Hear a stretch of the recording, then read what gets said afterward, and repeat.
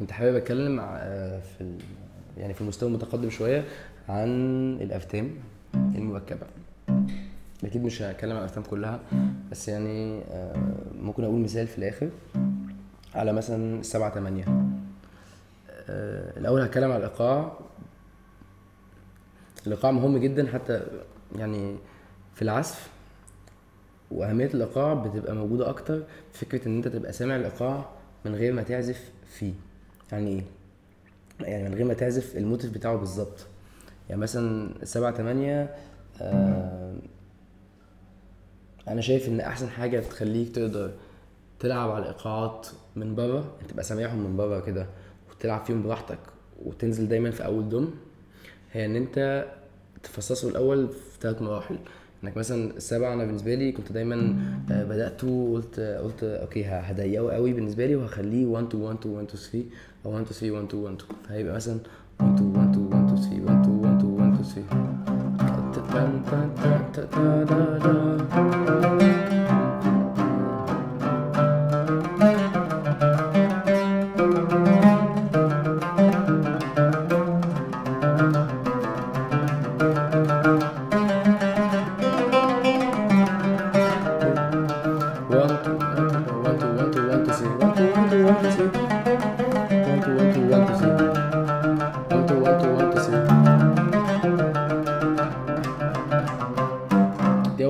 إن أنت تعزف تتفصص ال- ال- الريتم بطريقة ضيقة قوي تقول 1 2 1 2 1 2 3 يعني أنت بتعمل كل كل اللي جوه السبعة بتعمل الكوشات كلها بتنطقها فتبقى تا تا تا تا تا تا تا تا أو العكس أو مثلا 1 2 3 1 2 1 2 1 2 3 1 2 3 1 2 3 1 2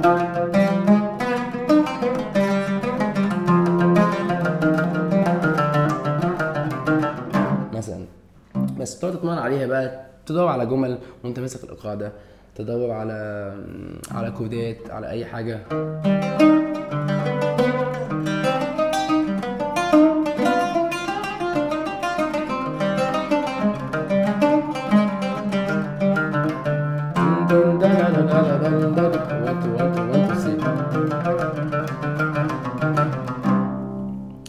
جميل. المرحلة التانية بقى ممكن إيه توسعه سنة.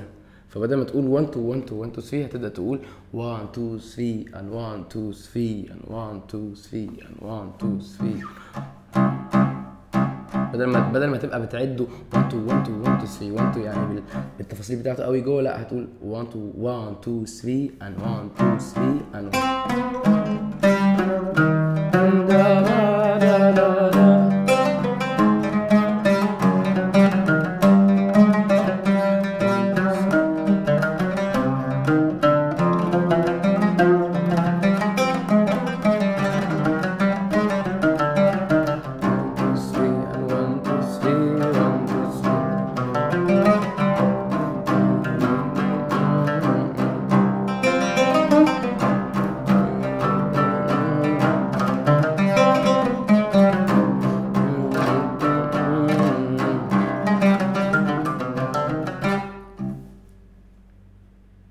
الثالثه كل مرحلة على فكرة ممكن تاخد فترة كبيرة يعني ممكن تاخد كام شهر ممكن تاخد سنة ممكن تاخد شهور. إن أنت تحاول تحس الإيقاع جدا بجسمك وبنفسك اللي هو 1 2 1 2 1 2 3 بعد كده 1 2 3 and 1 2 3 and 1 2 3 المرحلة الثالثه بقى وهي الأصعب اللي بتخليك بعد كده تقدر تعمل معادلات إيقاعية. آه، هنفضل في المثال بتاع السبع السبع مثلا قلنا 1 2 1 2 1 2 3 1 2 3 1 2 1 2 زي ما أنت عايز. في الآخر وسعته شوية فعملت 1 2 3 and 1 2 3 and 1 2 3 and 1 2 3 ممكن بقى تبدأ تعمل إيه؟ أكنك بتعد أربعة على أربعة توسعه تماما بقى. فتبقى النوار بتاعك هو ده السبعة تمانية أصلا. يعني أكنك بتعمل 1 2 1 2 1 2 3 1 2 1 2 1 2 3 1 2 1 2 1 2 3 1 2 1 2 1 2 3 فتعدوا 1 2 3 4 أكنك مز... يعني م- مزورتك هي مزورة أربعة على أربعة كل نوار فيها هو سبعة نفسه. 8 4 1 ده ممكن يتلعب بنفس الطريقة بس هي الفكرة إن لما كل ما بتوسعه أكتر كل ما بتبقى تبقى شايف قدام عينيك إن في أربع أضلاع كل ضلع فيه سبعة فبتقدر يبقى ليك الحرية أكتر جوه إنك تلاقي أشكال ايقاعيه تانية تخليك يعني تعمل يعني يحصل التفاعل ما بين اللحن بتاعك بأشكال ايقاعيه مختلفة مع الايقاع اللي هو الأربع أضلاع سبعة ثمانيه ثمانيه فيبقى الموضوع groovy أكتر. من هنا أساسا هي يعني من هنا جاية فكرة ال groove. هي تفاعل ما بين لحن وإيقاع. ماشي على أضلاع يعني أضلاع ثابتة اللي هي زي زي ما بقول لكم 4 على 4 مثلا كل نوار سبعة هيبقى سي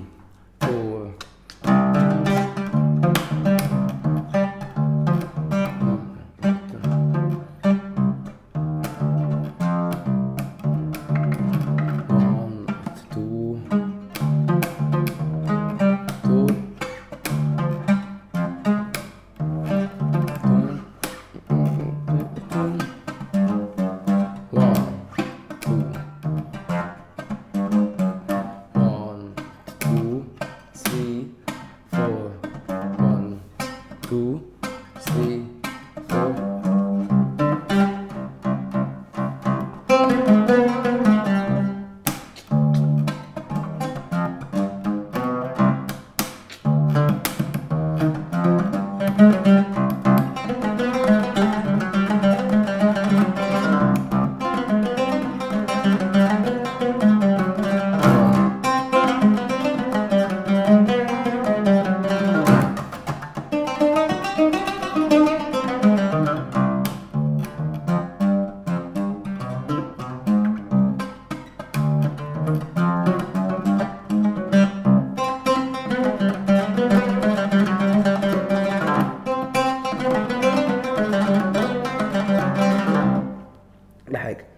حاجة تانية بقى إن أنت ممكن لما بعد ما تحس فيه تبدأ كمان تبدأ تتمرن الموضوع حتى جسديا. يعني ما يبقاش الموضوع بس موضوع آلة.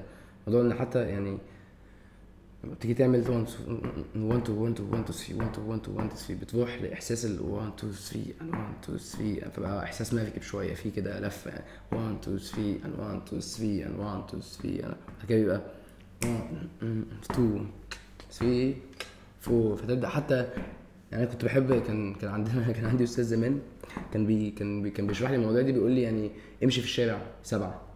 يعني اعمل تسحل مع نفسك كده مثلا لمدة فاهم؟ لمدة نص ساعة كده. تحاول تحس الايقاع جوه جسمك إن إن تبقى ال position بتاعك ال ال ال ال ال الضلع بتاعك النوات بتاعتك كلها سبعة.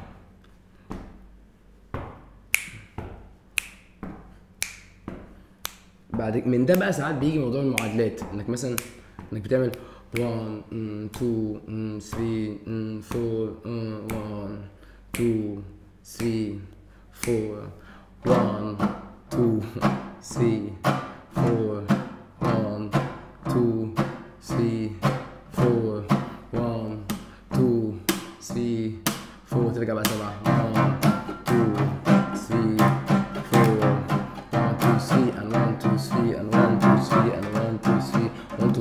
2 1 2 1 2 3 1